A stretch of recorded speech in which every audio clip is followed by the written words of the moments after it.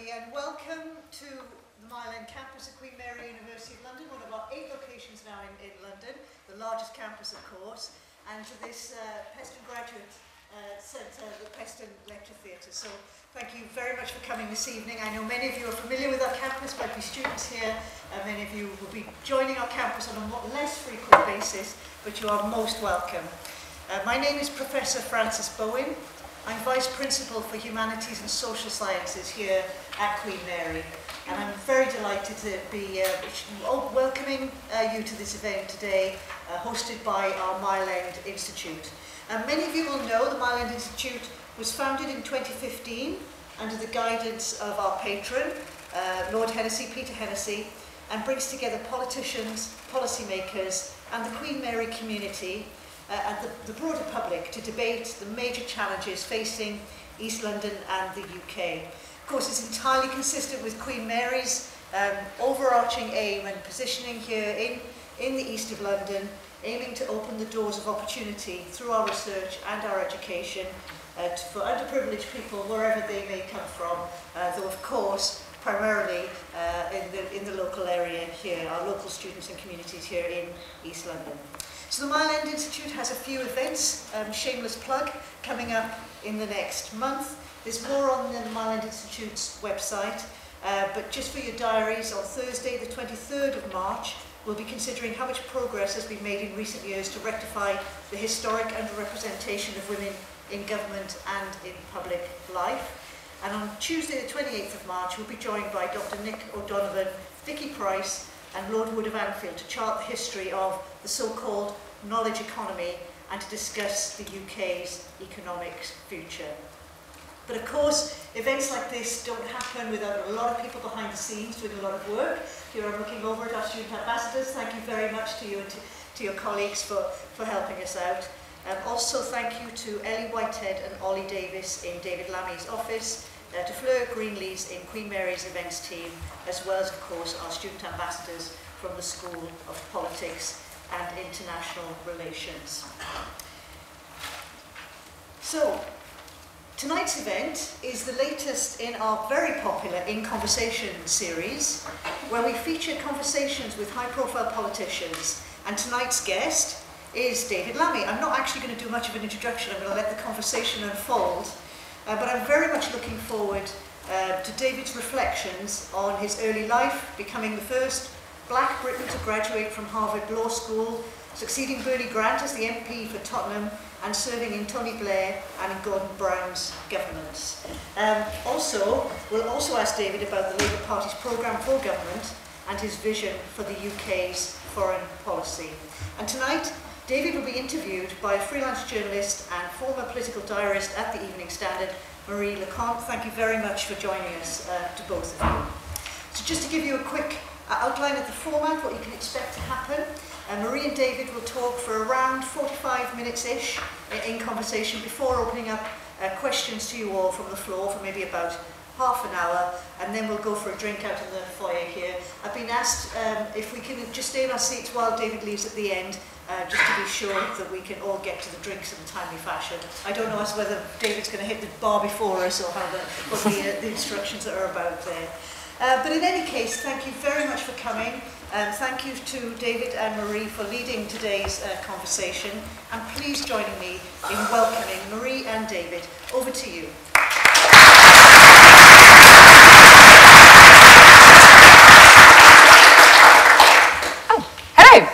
Thanks everyone for coming. Uh, David, thanks for joining us tonight. Um, I don't think David Lammy really needs to be introduced, mostly to you guys, because you actually decided to come here. It would be weird if you did not know who he was. Uh, but no, David Lammy still was elected as Labour MP for Tottenham in 2000, uh, served as a minister in the Blair and Brown governments, uh, then spent about a decade on the backbenches and is now back, uh, so was first back as the Shadow Justice Secretary, uh, and is now Shadow Foreign Secretary in Keir Starmer's Shadow Cabinet. Um, and so, David, I kind of wanted to start by um, saying that researching this interview made me go quite mad because I tried to do my job, you know, and read everything I could, every interview you'd given, you know, everything you'd written. And you have spoken to everyone about everything for the past 23 years. I genuinely, there was a point where I could see you at the back of my eyelids when I went to sleep. Um, so actually, I wanted to start by asking, What, what's the one question you just do not want to answer ever again from a journalist? Well, no, I, that, there isn't actually. I like questions, and I might answer the question slightly differently depending on what I recall or what mood I'm in, because I'm quite a, an emotional kind of person. And actually, um, we're sitting here in Stepney. Uh, my godmother, a great aunt of mine, lives across the way in the Ocean Estate. I remember coming to this area, probably I was about seven or eight on the bus from Tottenham. It was a big deal. My father used to bring me here. It was his favourite cousin. Um, other than that, I didn't come to the East End. You know, Tottenham's a very, or London's a very parochial place. You know, you live in your neighbourhood, and we didn't travel very much beyond the community in N17 uh, part of North London. So instantly, I've got a kind of warm feeling, and, and a slight guilty feeling because I sort of feel like I should have rung up my relatives and told them I'm just across the way. Uh, but you know the way that diaries work, you just don't focus on stuff. So um, that's the mood I'm in. So that's you know that that will condition the way I answer some of your questions. Excellent. So yeah, no questions on the table then. Um, but since you actually talk about the politics, so you again, so you sat on the front bench against, uh, against uh, under two prime ministers and then decided to go back to the backbenches when Ed Miliband was elected as uh, leader of the opposition because you wanted to give him space and also to speak your mind. Um, obviously, that stint lasted for perhaps longer than you thought it would because you were there for nearly 10 years because some stuff was happening in the Labour Party in that time. Uh, so, what, what was that like? Because obviously, from the second you got elected, nearly you ended up on the front bench, so you'd never really been a backbencher for a long period of time. Do you, do you think that's changed you as a politician at all to spend that long um, doing your own thing, I suppose? I guess I knew when I was elected, I had a hunch, an instinct. It wasn't completely verbalized, but it was a, I had a hunch or an instinct that my political career would go on for a while. Um, um, Tottenham is generally seen as a safe seat. I have to say, on election day, I never believe that. I always think I'm going to lose my constituency um, and get very, very worried. But, but, but I, I, I, I basically knew that we would be in opposition at some point. I knew I, I was not under sort of any apprehension that Labour would be in power forever. I knew it would come to an end. And I had quite a deep consciousness about what that would mean for folk in a constituency like mine, and a very strong consciousness of the work that people like my predecessor, Bernie Grant, had done. Um, as the, he was the leader of Haringey Council and then the Member of Parliament for Tottenham during the Thatcher major years uh, at administration. And so, in a sense, I would say at this point that my career, I don't know how long it will last, but let's say it's in, in, in, in you know, thirds. Uh, the first 10 years was in government uh, and a junior minister, very junior in the Blair Brown years. Uh, then the second period was, was in opposition. And I had a very clear understanding of what my role was in opposition, and uh, I think on uh, Windrush, Grenfell, um, uh, particularly, I, Brexit, you know, I, I wanted to make my voice heard. And, um, uh, and then now we're, we're into a stage where I'm on the front bench, obviously as a shadow uh, uh, front bencher, but I hope fingers crossed, that Labour win the next election and we, get to do it for real. Mm. And how are you finding that sort of balancing out? Because again, you're quite an outspoken person, you have issues you clearly care about massively. You probably cannot be as outspoken as it used to be. Now you're a shadow secretary of state. So how again do you balance out your brief on the one hand and on the other the again issues that matter to your constituency but to you as well? It's actually not as hard as you think. One, because we're in opposition. Mm. I think there is a sense of weariness and tiredness um, around this government. We're in London. You know, London uh, broadly uh, agrees with the sorts of things that I might say, uh, if you see what I mean. Uh, and two, um, you know, I think that um, I'm now in a much more senior position in the Labour Party. So I think I get to influence some of the positioning that we might make. And um, I make a contribution, I've made a contribution writing books and other things. So I, I, I don't, I, I, I'm not finding a struggle between what I might privately believe and the business of collective responsibility. Collective responsibility is important. Um, you don't generally achieve government if you aren't disciplined. Um, uh, you don't achieve government if you're not able to have your rows in private and, and reach a collective position for the public. So, you know, I recognise that and, you know, I'm sitting here now as a mature uh, ish politician, um, able to play my part. Mm, great. And so, looking back actually at that first third, I suppose, of your career when you were a junior minister, you were, I found a piece uh, from The Guardian in 2002 who called you one of Parliament's most glamorous MPs. So, first, did you remember that? And um, slightly more seriously, what, you know, when you look back on that, because you were the kind of archetype of the rising star in Parliament, you came in very quickly, you got promoted, got quite a lot of media coverage. At how, how do you feel about that kind of looking back? And is there anything you would have done differently um, if you could sort of go back? I've learned not to care very much about what, no offence, mm. uh, what, what journalists write about you. Mm. They've met you very briefly, they're conditioned by their own prejudices and assumptions. Um, it comes and goes, and when you've been around uh, as long as I have, you, you sort of realise that it comes and it goes.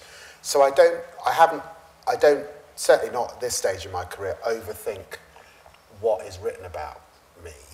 Um, I do think that um, I suppose the complexity of that question, there's something slightly complex behind that. It, it, it wasn't easy being young and black and from a working class background arriving in Parliament. Um, there weren't many folk like me. At that stage, there was only my colleague Oona King, who of course uh, is well known to this part of the world, um, but lost her seat. And the truth is, the vast majority of journalists do not understand my experience. They did not, they, they have very little contact with being Windrush. They don't understand the juxtaposition of coming from Tottenham and ending up in Peterborough and going to, to Harvard. They said silly things like, um, what would they say? Things like, oh, you know, um, you're, you're really young, you must be ex, you know, they, not really understanding that if you're from the kind of background I have, a lot of my peers had spent time in prison, had, had, were struggling with mental health, uh, had parents like mine who'd got periods of unemployment. I came from a broken home. I was raised by a single mum. Uh, that's what I brought to Parliament, at age 27. I was not some young whippersnapper like I don't know, a young Boris Johnson. if you see what I mean. Mm. And that doesn't get a lot of credit in our political system. Uh, so you, you, you, know, if you go back, you read so much, so much nonsense, and I still read it today. Um, um, but I've learned, you know, in a sense, which lies behind your question, by the time I was standing up on the back benches on things like Windrush or Grenfell. I absolutely understand the power of my experience, and that's what I bring to the table. Um, that's what I'm holding in my hand. In those early years, you can stand as a Labour politician, you can look at your opposite number, and you can see these Etonians and, and these Oxbridge graduates and all the rest of it, and you can be rather intimidated that somehow this place is more their place than your place. Today, I'm very happy to stand up, be the son of a single mother, know what it is to go back to a home and the fridge is empty because or, or the, the lighting's gone off because we couldn't afford the, electricity, the electricity bill, have relatives in, uh, in one of the poorest countries in the Western Hemisphere that I still send remittances over for. All of that is what I bring to the table when I stand up in Parliament. Hmm. That's a very good answer. And so I guess on a weirdly similar note, so you're actually one of the few shadow cabinet ministers who has proper government experience, because you know Keir Starmer was never in the Labour government, Rachel Reeves was not. How I'm quite interested to find out how that works, I suppose, internally in the shadow cabinet. So does that feature? So you obviously and a handful of others who know what it's like to be in power. Um, do you talk about that internally? Do you ever have to step in actually and say, well, actually, you know, this sounds like a good idea, but I can tell you now the civil service is not going to go for that? Or how does that work actually? Well, I think that there is a collective consciousness that there are only a few of us that have actually been in government before. Myself, um, John Healey, who speaks for us on defence, um, Pat McFadden, our Chief Secretary to Treasury, have all been in government. Um, Keir Starmer, in fact, because he was Director of Public Prosecutions, certainly has a powerful sense of the way Whitehall and the civil service works and would have had a lot of engagement, particularly with the Home Office uh, and the Justice Department. Um, uh, we're doing a lot of work to prepare for being in government. There's been some controversy in the last uh, week or so about the preparation that we're doing and who we're appointing uh, to help us uh, on that journey. And, um, and, you know, we're working with organisations like the Institute for Government to properly prepare the team and get ready. And I'm obviously thinking, I think the cycle would be, I'd say, that this year you, you, you'll hear much more from us on our policies, our proposals, our vision for the country, so that by the time we get to a general election at some point, I think in the latter part of 2024, the public will have a good idea of how, how, the, you know, how the country would be different under Labour. But part of that is also preparing for government. Of course, we have a civil service, a, a neutral civil service, and they too uh, get to a point where they come and ask the official opposition what we would do. They're listening carefully, reading my speeches, Keir's speeches, and they start to prepare themselves for uh, uh, the possibility of a change of government. Hmm. And so I guess coming on to your brief, so reading obviously a lot of what you've written in the past and interviews you've done, you strike me as someone who's actually very anchored in England, so be that in London, in Tottenham, in Peterborough, which you've talked about a lot and stuff. So I, you know, I'm not pretending I could do his job for him, but I would say that, you know, Shadow Foreign would not have been my obvious guess for you in Shadow Cabinet. So how, because you're clearly a very passionate and driven person, so what, what drives you in foreign issues? Um, I think it is um, fair to say that I have been quite located in domestic public policy, um, in part because of the nature of the constituency, um, tough, some of the tough issues, knife crime, riots, race, um, education. Um, but the truth is that um, I'm, I'm quite a strong Atlanticist. I obviously studied in the United States, worked in the United States, personal friends with former President Obama, good relations with the Democrats. Um, I was pretty active in the Brexit debates because I'm very strong on Europe. And I've been around in politics for a long time. So I've actually built up friendships, um, mainly across progressive parties um, in different countries of the world. Obviously, I've got, um, uh, you know, I should say I'm a dual national. I have um, citizenship for Guyana, where my parents are from in the Caribbean, good relations in that part of the world as well. So, uh, and I represent in Tottenham, um, uh, certainly I think the N15 postcode is the most diverse postcode in the country, uh, uh, with almost 300 languages spoken in that small area. So uh, I actually do, you know, foreign policy um, I, I'm very much enjoying um, um, and uh, have found myself sort of being able, being quite versatile, actually, uh, and drawing on experience both of some of the issues in the places that we're thinking of, but also friendships that built in Europe, friendships built in the United States, and obviously coming into this brief at a very, very tough geopolitical moment. So um, I'm enjoying the brief very much. I do hope to be Labour's um, foreign secretary, but I'm sort of sanguine about politics. You never, you know, you never have any role other than being a member of parliament forever or for, for very long. Um, so I'm, you know, uh, once we've been elected, once I've done the job for a little while, I, I quite suspect I will be returning to domestic uh, policy issues. Hmm, interesting.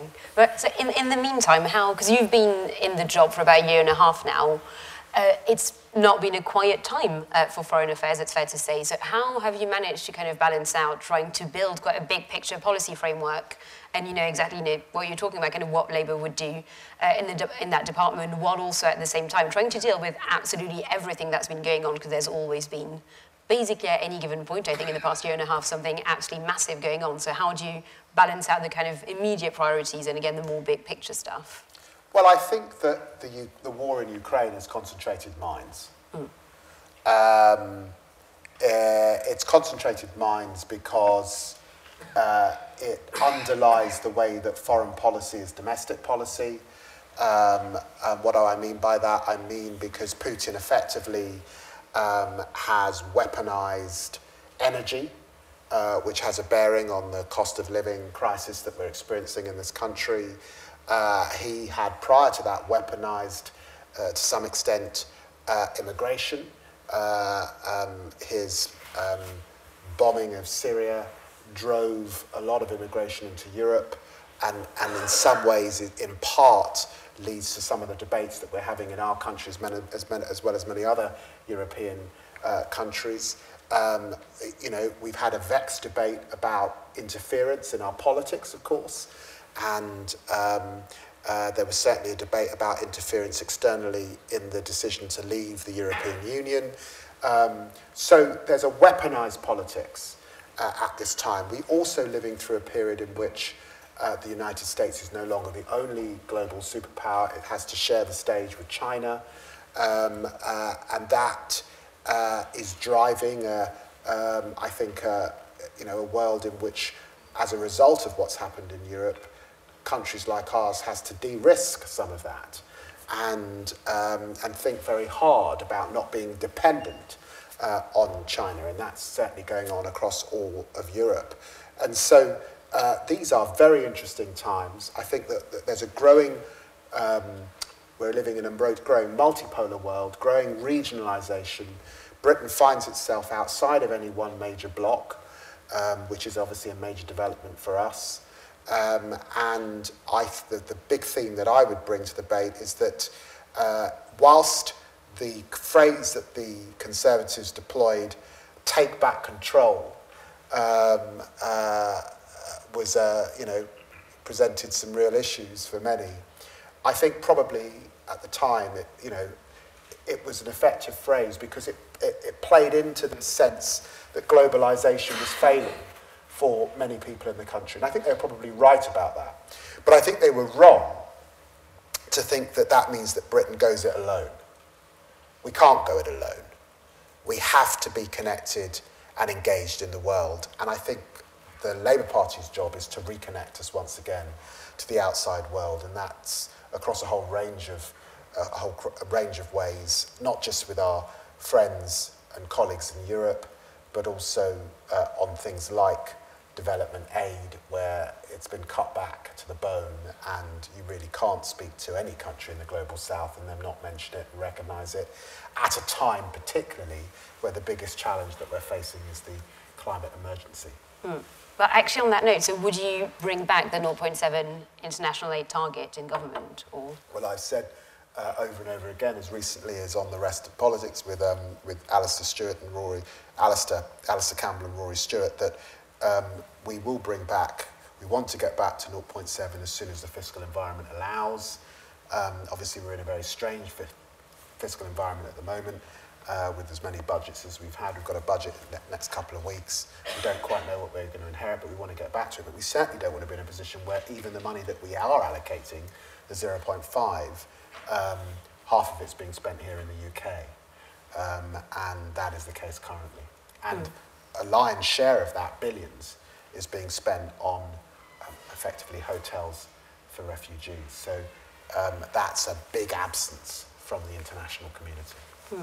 I guess sort of on the topic of money as well, uh, you've touched on Ukraine a bit. Um, is there, is there are there any conversations in the Labour Party at the moment over what would happen, you know, when the war ends? Hopefully, obviously, after Ukraine wins it, because uh, Britain has been, I think, a very, very good ally, obviously, to Ukraine during the war. How, how do we make sure that Britain remains a very good friend and ally to Ukraine uh, in the, you know, over rebuilding the country and making sure that peace uh, can be a possibility on the long term? Like, is this something you're looking at at all? Oh, well, look, the other thing I think is important about foreign policy is it's not all partisan, mm. it's not all party political.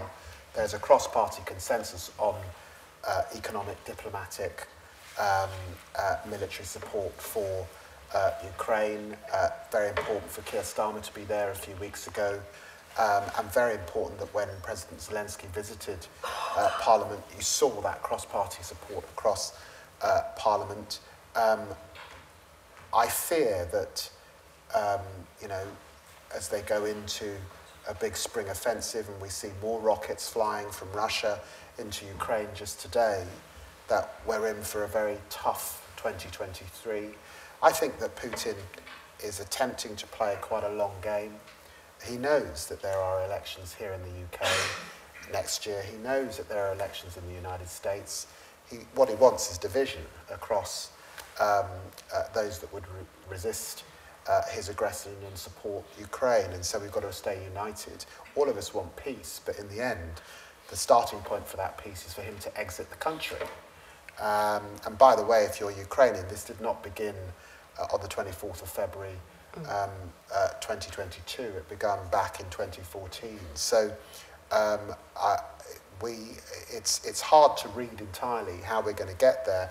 All wars ultimately end with some brokering of peace. Uh, but I think at this time, as uh, Ukrainians are fighting for their country and their lives, uh, with rockets raining down on them, it, it feels like uh, uh, peace is not possible. Mm. Actually, you've mentioned that issues like the war are not really partisan issues. Um, to, I would have to admit, my slight bafflement, Ukrainians do seem to absolutely adore Boris Johnson. Um, is that would a Labour government use that in some way? Like, would, would you work with Boris um, on the kind of Ukraine in whatever you know shape or form he would be up for? Because again, he is just strikingly popular still with Ukrainians. And with this question, whether I was inspired by talking to a friend who's a Ukraine journalist, and I asked, "What should I ask David Lammy?" and he said, "You know what? They really, really love Boris in Kiev. Uh, you should ask him about that." So there you go.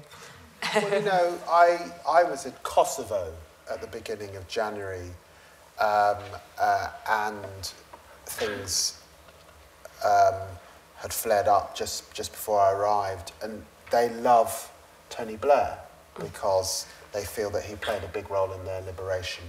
And, um, you know, we're no longer in office, but of course the UK continues to support um, Kosovo. So just as um, I hope that we will get to the, to the point where we see the back of Boris Johnson, Liz Truss, and Rishi Sunak. Um, uh, there will be continuity in, in, a, in a Labour government, and, and, and we'll continue to be cross-party in our positioning uh, mm. on Ukraine. And I think that the Ukrainians are a sophisticated bunch. They will, they, they, they're, they're able to have several conversations at the same time. Mm. And well, since you've um, brought up Rishi Sunak. We'll come back to foreign affairs in a second. But so you said in 2019 that it's hard to see how you could be an ethnic minority and the leader of this country because it feels like half the country questions that legitimacy. Um, obviously, three years later, Britain did end up um, having an ethnic minority um, PM. So how, how, do you feel about the fact that you know it happened, um, and he's a Tory Brexiteer as well?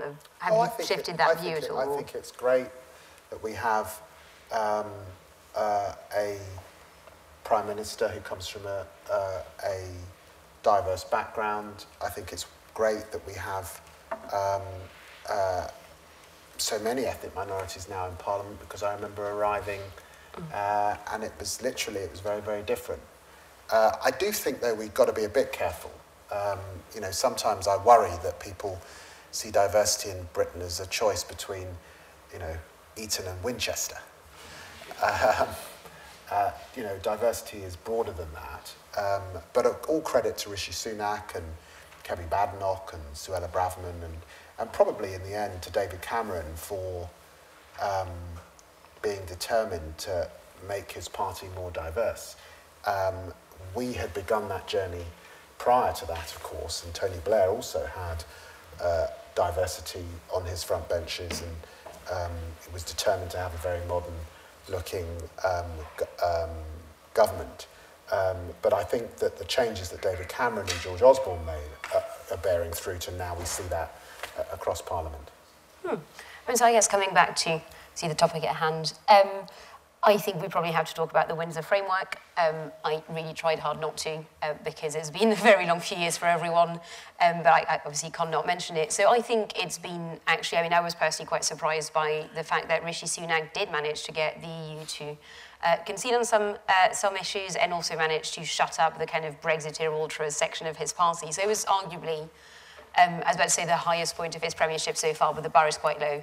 Um, and so, you know, what, what did you make of it? Because I remember talking to Labour people even the weeks beforehand saying, actually, we have no idea what's going to come, what's going to happen. So what, what did you make in the end of the Well, we, Windsor we, framework? We always said that the way to deal with this was through negotiation, was rolling up the sleeves, um, you know, getting the parties uh, in Northern Ireland around the table, um, sitting down with the European Union and doing a deal. And we knew that was the case because, you know, we were so instrumental in the deal that we did in the Good Friday Agreement in the first place.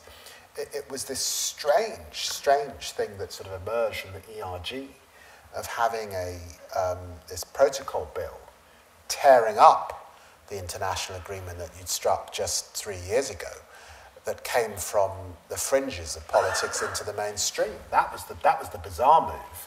And that, of course, um, slowed down the ability to have a negotiation. It, it, it, it, it, ultimately, it would have led to a trade war with the European Union at a time of a cost of living crisis. Um, it caused great harm, I think, to our relationship in Washington um, uh, because, of course, whether you're Republican or Democrat, their, their, their um, relationship with the Good Friday Agreement is well understood as well. So I think, um, and, and Joe Biden feels personally very attached to it. So I think that that was the bit that was wrong-headed. The negotiation was always there to be done. Um, I'm pleased that Rishi Sunak realised that. Um, uh, and let's, you know, I, you know, the ERG are getting into the detail of it, so I don't think I think you should sort of sign it off just yet. But but it looks like uh, he's cracked it, and and I'm I'm pleased he's been able to do that because I think it's right for Northern Ireland, and you know they need to get um, uh, devolution going again and, and, and back up and running there, and I think it's it's right for the UK as a whole. Hmm. So on the European Union, actually, because obviously it, it, it is, you know, you've talked about it tonight, you've talked about it a lot, like you feel very passionately about Europe and our place in it and our relationship with it. Like what, what would you do? Because again, Keir Starmer, you know, would probably be Britain's first properly post-Brexit prime minister if he wins the next election. Uh, what, you know, do you have any examples of quite concrete things you would like to work on? So both the, the EU as a whole, but also maybe with the specific countries. What, how do you make that better, more stable relationship happen that you've talked about before? Oh, I think, I think that, um, you know, Keir Starmer and I did an event um, together and it was described by some of our European colleagues as, as like sort of listening to honey on toast or eating honey on toast. It was, uh, you know, a big difference to what they'd experienced most recently. So I think that the first thing is at the moment we haven't got any structured dialogue with the European Union. We don't meet on a regular basis to discuss the issues that concern us, whether that's climate, whether that's artificial intelligence, whether that's the war in Ukraine. So we need to get to structured dialogue with the European Union. I think that we must rejoin the Horizon scheme. We'd like to do that. I think there are big issues emerging with um, students and mobility issues across across the European families of countries. It's it's quite strange that there are more Chinese students studying here in the UK than the whole of the European Union combined, for example. That's, a, I think, a peculiar development since Brexit. I think there are issues around qualifications and, uh, and understanding our qualifications board. There are issues around financial equivalency. I, was, I had a meeting in the city this morning and they were raising those issues. Uh, and it was, the, it was the case that the trade deal that we have with the European Union is up for review in 2025. And so sector by sector, um, it is important for us to be able, with our European colleagues, to go through those, those, those issues and look at where we can deal with some of the issues of friction that have come up. Uh, but the first thing is we will not be having in Keir Starmer, of course, a prime minister that describes um, President Macron as a foe or an enemy. I mean, that's a good start um, uh, for friendly, cordial relations. Um, now, that means that obviously we're not back in the European Union, we're not in the single market, we're not in the customs union, um, but I think there's a lot that we can be getting on with. So the first step is to normalise our relationship and get back to structured dialogue again. And then the next stage, I think, under a Labour government is to build uh, on the relationship that we've got um, um, and the review that we've got in 2025. Hmm. I so like, I feel like we've talked about the EU, we've talked about Ukraine.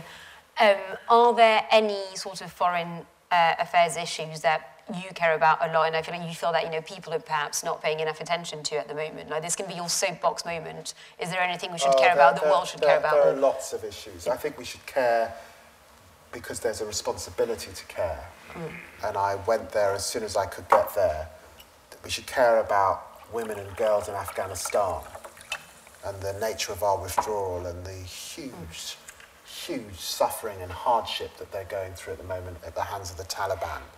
I think we should care about extremism wherever it's, wherever it's rearing its head. And I am worried about um, elements that have crept into the government in Israel uh, and renewed tensions in the West Bank and in Gaza. Um, I think we should care about the Sahel area and the Horn of Africa and famine and um, uh, extremism uh, uh, uh, entering into countries there that could cause real problems for us um, uh, in, the, in the years ahead. And of course, we should be very concerned about um, the posture of China uh, post their Congress last year, problems in the Taiwan Straits, uh, and where that might leave the global community, um, uh, particularly. So there's a, you know, there's a, I, I, don't- I can't pick one thing. Uh, there's a lot to be concerned about, and yes, of course, we're, we're having this meeting at a time of a cost of living crisis for our population here. But I think that in a university like this, it's always important to stress that um, the cost of food, cost of fertilizer, rising inflation in much of the global south means starvation, it means poverty, um, uh, it means malnutrition uh, for a lot of young people, um, uh, and, and that will have huge consequences for the global community down the line. Um, I apologise for how not smooth uh, the next segue is going to be, but they can't all be winners. Um, so I feel like speaking of parts of the world that we don't talk about perhaps enough, um, your family is from Guyana. Um, and you've uh, talked about the fact before that you, so you didn't go a lot as a child, but you tried to go quite a lot as an adult, and so that you really feel at home there. Um, what was it like, assuming you couldn't go um, during the pandemic, so what was it like, kind of, I guess, being separated from that part of the world and that part of yourself, and also have you managed to go back since? I've very much managed to go back since I was there at Christmas uh, with my family. Um, Guyana is a very important part of my life. Um, it, my mother's ashes are there. Uh, I have family there. Um, and, you know, it's an important part of my identity. Um, I, I wasn't lucky enough to be at Queen Mary, but I did study at SOAS, uh, the great SOAS, and um, you know, I. It's important for me to have a to have a foothold um, in the global south to to understand things from a different perspective. Um, and um, but it's also a country with a rich rainforest, um, um, preserving its rainforests with Amerindian communities as well as uh, former enslaved ones and indentured communities. So it's a, it's a, and the Caribbean region is somewhere I feel very, very at home, very relaxed, perhaps at my most relaxed. Um, and these days, you know, perhaps because I've been around such a long time, I'm not it- it's not as easy um, to be on downtime in the UK. Um, and so um, Guyana and the Caribbean is, is somewhere where I can go with my family and, and, um, and it's very special to me. And so I guess you, you have a lot of sort of overlapping identities, I suppose, of being Guyanese, being British, English, a Londoner.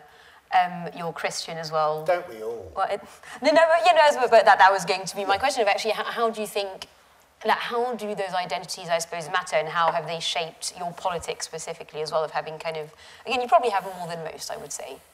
I don't know if I do really. I mean, they, they, they, you know, I'm a Londoner. All Londoners have a rich heritage to bear to bring to, you know, even if it's, if it's, you know, you've moved from another part of the UK to London, there'll, there'll be a story. Um, you know, your, I mean, the best way to answer this is to remember that the great story of the 20th century was at the beginning of that century um, the vast majority of people were not able to self actualize in their lifetime. They weren't able to be who they want to be in their lifetime. And as I look at this room, uh, what I see in here, I suspect, are the vast majority of people in this room would have been in that box. If you were a woman, you were the property of a man, uh, your father or your husband. Uh, if you were black or brown, you were colonized, previously enslaved. If you were working class, you were down a pit, down a mine, you were at the mercy of the boss. Um, if you were LGBTQ, you certainly couldn't love who you want to love in your own lifetime. So the vast majority, there are, will be a couple of people in here who are a bit like Boris Johnson, Uh, uh, uh, you know, but the vast majority of people in here um, have, have a backstory of progress over the course of the 20th century that leads them to this point. And so my identity is wrapped up in that story, of course. Um, uh, and, um, you know, the, the, but I, I, I insist on this business of being not just a Londoner, but being English and being proud of being English. This is where I raised my family. It's a privilege to represent, an absolute privilege uh, to represent not just Tottenham, but to be a Member of Parliament in this democracy. And even though my job is to critique the democracy and to critique this government and to challenge this government and to want us to do better, want us to do different, I, I, I'm always crystal clear. I, I get to go all around the world, and this is still one of the best countries in the world in which to live. And we certainly have the best sense of humour. Um, and I happen to have the best football team. So we've got a lot going for us. But actually, that you made my segue for me, so thank you very much. But um, so you've talked about before the fact that the Broadwater Farms riots in Tottenham uh, were quite a formative memory for you because they were kind of they happened in your neighbourhood, but you were up in Peterborough at the time, so you kind of watched that from afar. Um, and obviously, sometime after that, you wrote a book about the 2011 riots. Um, you know Tottenham probably better than anyone or better than most. Um, do you, do you think the situation has changed since the 2011 riots? Do you think we could see riots again? Or, you know, what, what do you think needs to happen to prevent them, if so? Um, any, any thoughts? Oh, that's a loaded, that's a big question. Um, yeah, yeah, we only have about 10 minutes left of that bit, by the way, so yeah. So, um, it's definitely taken years off my life living through two riots in a generation the 1985 Broadwater Farm riots and the 2011 riots, which were horrific uh, to, to live through. Um, and just to evoke why they were horrific, um, to stand with, you know, men and women holding just their children with their possessions burnt to the ground. Um, you know, with people, with the disarray of that. Mark Duggan shot dead. Um, it was a tough, tough, painful, hard moment. And when you're the MP for that area and no one else seems to be leading, it's a, it's a tough, tough moment. Um, so it's not a light thing, riots, at all. Um, no one would predict riots lightly. Mm. Uh, they, they tend to take a spark uh, and they tend to take a perceived powerful sense of injustice and that injustice is usually you know, on the part of um, policing the state um, uh, in some shape or form, wherever those riots happen um, in our country or anywhere else in the world. Um, um, I, I wrote about it extensively, um, you know, in, in my book Out of the Ashes, almost in a therapeutic way. All of my writing is a bit therapeutic. And it's because politics is not, for me, politics is not just what you do in the, in the House of Commons, it, you know, or as, as, a, as a practicing politician, you know, putting your ideas down, it helps you explore how you feel about things at a particular given time. Um, and, um, and there are lots of ways to express your ideas, if you see what I mean, to explore the business of politics. Um, uh, I think that clearly race and policing are remain challenging issues for our country. I was asked by David Cameron to do a review into disproportionality in the criminal justice system back in 2015. I produced a, a, a review that I think was widely supported across the political divide, um, but very, very sadly, um, whilst Theresa May took the review seriously because David Cameron had gone by the time I'd completed the review. Boris Johnson did not. In fact, he commissioned his own review, the Sewell Report. Um, and, you know, uh, that was widely panned by people in his own party as well as uh, other political parties uh, and communities involved. Um, so, sadly, the figures have gone backwards. Uh, I think it's extraordinary that we have more than, I think it's 53% of young people in our young offenders institutes come from a black, Asian or minority ethnic background at this point in time. That's gone up since I did my review. Uh, and that will find its way into the adult prison uh, estate. I think the, that the stop search figures now are one in six um, uh, young black youth are stopped and searched. So it's, it's the, I'm afraid that the figures are, are going in the wrong direction. And of course, there are now also profound challenges for the police um, following the uh, horrendous murder of Sarah Everard, the Bibaa Henry, Nicole uh, Smallman. Um, uh, women are feeling unsafe. We've got the lowest uh, uh, rape prosecutions uh, that we've seen on record. So I'm afraid uh, there's a criminal justice is a low ebb uh, across a range of fronts at this point in time. Mm. Do you think the Met Police can be reformed? I think the Met Police have to be reformed. And the reason they have to be reformed is because, uh, and can be reformed, we've got to believe in the Met Police, is because we have a policing model in our country that's very precious. Whatever anybody says, it's policing by consent, uh, with the consent of all the public. Uh, our police do not routinely carry guns. If you're in the United States, or indeed if you're just next door in France, where they do routinely carry guns, uh, we've got to hold on to that model. And policing by consent, not by force, means that the policing is done alongside communities and people. So obviously it's a huge problem if the police lose the trust of populations and we're having this conversation at a low ebb. Uh, but we've got to hold on to that model of policing by consent. Uh, the Casey uh, review is going on at the moment. Um, I actually have worked with Mark Rowley, who runs the police. I worked quite closely with him after the 2011 riots, and, and I wish him the very best of luck as he reforms, gets back to neighbourhood policing, deals with the misconduct issues that are, I mean, I think it's one in 43 police officers in the Met are, are, are, are they're having to review the misconduct. He's got to deal with all those issues uh, and move forward. Hmm. Thank you everyone for coming. David, thank you so much for joining us. Thank you to Queen Mary for hosting us. Thank you very much. Thank you very much.